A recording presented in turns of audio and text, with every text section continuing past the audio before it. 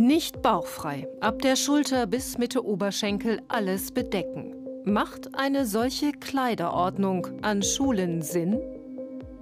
Finde ich nicht gut. Also die Leute sollen machen können, was sie wollen, solange es halt niemand anderem wirklich schadet. Ich finde eigentlich, dass jeder sich so präsentieren dürfen soll, wie er das möchte. Doch an Schulen wird immer wieder darüber diskutiert, was Schülerinnen und Schüler tragen sollen oder dürfen. An der Salzmann-Schule Sömmerda in Thüringen hat die Schulleitung jetzt eine klare Ansage gemacht. Alle Schüler tragen keine Bekleidung, die den Bauch freilässt. Außerdem ist der Oberkörper ab Schulterhöhe bis zum Unterkörper Mitte Oberschenkel bedeckt zu halten. Vor der Kamera will sich von der Schule heute niemand äußern. In einem Zeitungsinterview heißt es, man wolle Mobbing verhindern. Schüler, Schülerinnen seien betroffen.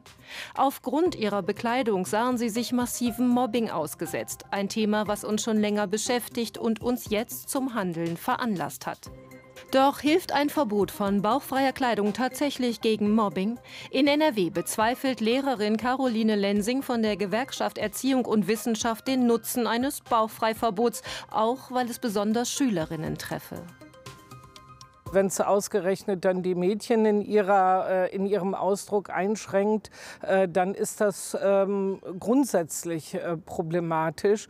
Auch ähm, wenn dann die Begründung kommt, ja, das ist nicht angemessen, weil zum Beispiel die männlichen Schüler sich davon abgelenkt fühlen.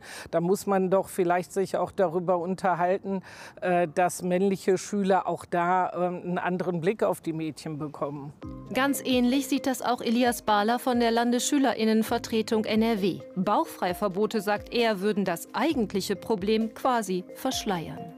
Sollte man nicht viel eher darüber reden, wie man denn nicht mobbt, wie man respektvoll miteinander umgeht? Oder äh, machen wir jetzt, das ist ja schon durchaus ein autoritärer Schritt, äh, wir, wir ordnen an, wie sich Menschen anziehen sollen. Strikte Kleidervorschriften wie ein Bauchfreiverbot seien ein Eingriff in die persönliche Freiheit von Lernenden und würden weder Mobbing noch andere Übergriffe verhindern, erklärt auch Genderforscher Dirk Schulz.